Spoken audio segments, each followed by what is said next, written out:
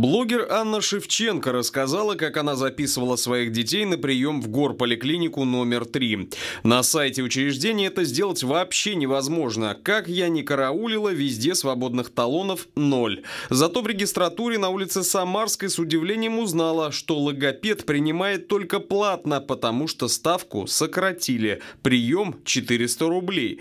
Аллерголога сократили на полставки, теперь она принимает всего 3 дня в неделю по несколько часов часов.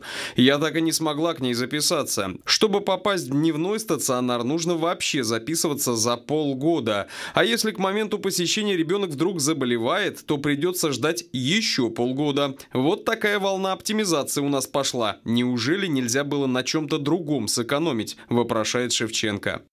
Блогер Владимир Сверкалов сообщил, что сегодня на улице Первомайской упало дерево. Рухнуло оно в 9.30. Эти фотографии я сделал в 13.00, то есть три с половиной часа спустя. Дерево все еще на месте. Есть экипаж ДПС, но его функции там непонятны. Движение на улице не перекрыто, сотни машин сворачивают с проспекта Ленина и упираются в тупик. Всем приходится разворачиваться на узкой дороге. Элементарно поставить знак знак экипаж не догадался. Оперативность муниципального горзеленхоза также вызывает вопросы, сетует автор поста.